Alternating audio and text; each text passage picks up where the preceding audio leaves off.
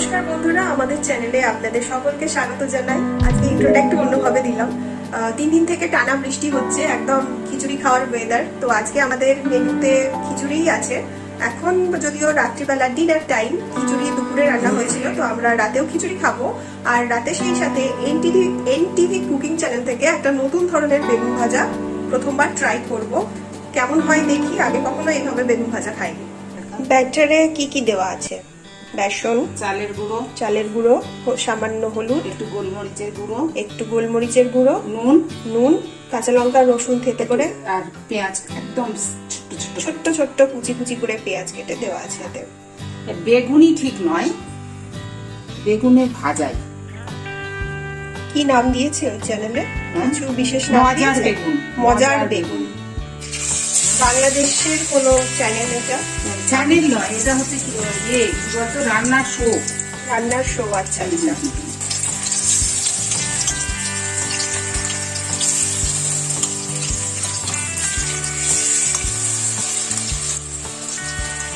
বেগুনটা কেটে আমি একটু জল দিয়ে ভিজিয়ে রেখেছিলাম নুন আর সামান্য নুন আর জল দিয়ে তাহলে কি হবে? তেলটা বেশি এটা ওই চ্যানেলেই দেখিয়েছে আচ্ছা। আর এমনি বেগুন ভাজা আমরা বাড়িতে করলেও ওইটাই করি। একটু জলে ভিজিয়ে রাখলে তেল বেশি টানে না। সামান্য নুন দিয়ে কারণ বেগুন তো ভীষণ ফাইবার আছে স্পঞ্জি মতো ও একটু যদি জল টেনে রাখে তাহলে আর তেল না। আপনারা যদি এটা না জেনে থাকেন তাহলে এটা ট্রাই করে দেখবেন তেল সত্যি কম লাগে। এটা টিপস খিচুড়ির সাথে এই বেগুন ভাজাটা তো হচ্ছে সাথে গোল গোল চাকা চাকা করে আলু ভাজা আর অমলেট হবে। আর অমলেট হবে। আর মাছ ভাজা সকালে সকালে মাছ ভাজা আছে এটা একটু ধিমে আছে করতে হয় তাই টাইম লাগে। এখন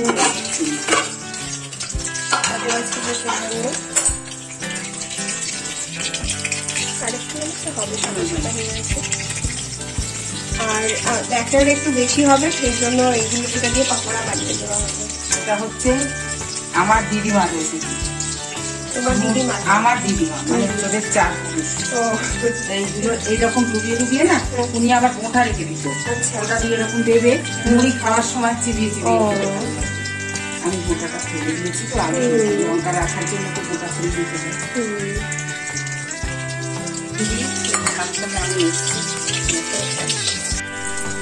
এবারে আমি এটা টেস্ট করব একটুখানি।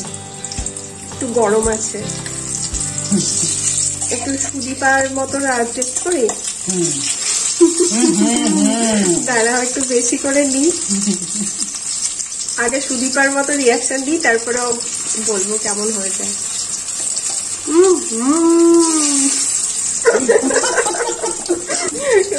একটা মিম দেখেছি ওকে যদি খেতে দেওয়া হয় গু তাহলেও সে খেয়ে বলবে না তবে এটা ভালোই লাগছে ইটস ডিফারেন্ট এত কিছু দেওয়া আছে ভালো তো হ্যাঁ। লাগবেই না। একটু পাল্টিয়ে পাল্টিয়ে খাওয়া। দেখ তেল কিন্তু বেশিরভাগই বেশি লাগেনি। লাগেনি। জলে ভেজানো ছিল তো। হ্যাঁ হ্যাঁ।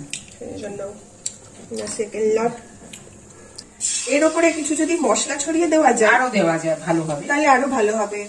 এভারেস্ট কিচেন কিং মশলাটা ট্রাই হ্যাঁ, করে হ্যাঁ, দেখবেন ভালো টেস্ট হয়। তারপরে আমার একটা নিজের মশলা তৈরি করা থাকে ঘরে। ভাজা মশলা। সেটাও ভালো। জিরে ধনে মুড়ি তেজপাতা শুকনো লঙ্কা এইগুলো দিয়ে একটা মশলা করে রাখি। সেগুলো মানে কোনো কিছু হ্যাঁ। চটপটা খেতে তার উপর থেকে মশলাটা। আমাদের বাড়ির বড় ফুড টেস্টারকে খেতে দিয়েছি। ও সামান্য বিট নুন ওপরে ছড়িয়ে নিয়েছে বলো।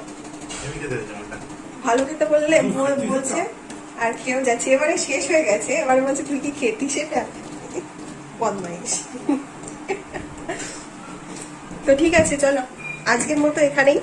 দেখা হচ্ছে পরের ভিডিওতে